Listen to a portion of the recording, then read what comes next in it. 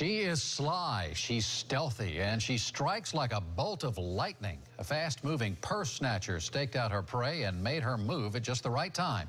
And to make matters worse, the victim is a new bride, and she lost much more than her cash and credit cards. News Channel 8's Peter Bernard joining us live at the scene of the crime tonight in Hudson. And you have some pretty clear video of this thief in action, Peter. Good evening, Keith. And that video is really good. And that victim, she is heartbroken. She and her new husband came here to the Kickin' Wings restaurant to celebrate their honeymoon when disaster struck. A busy night at Kickin' Wings in Hudson, but one particular customer has thievery on her mind. This woman checks out the back door and later settles down on a stool near the bar. We were having our newly married um, happy time. Newlywed Heather Mackey and her husband just finished dinner at one of their favorite restaurants.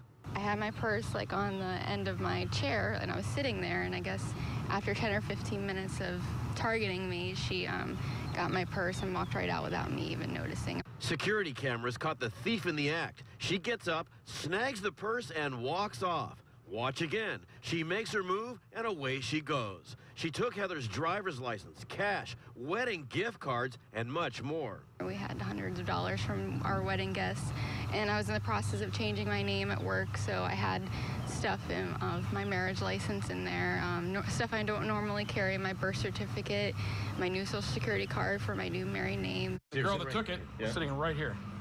And when she got up off her chair, she just grabbed it, put it on her shoulder, and walked right out.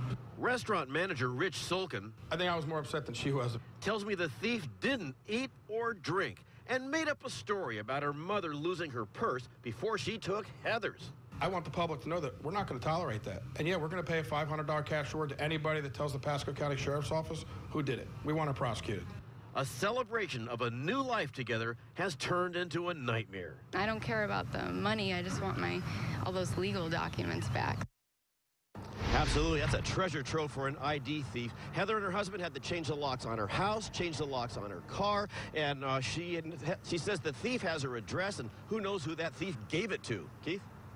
Well, it's a good reminder for uh, for a lot of women, especially who leave the purses sitting around. I mean, just, God, it just seems so easy to just take. Uh, what about this one? Has she taken steps to protect herself against identity theft?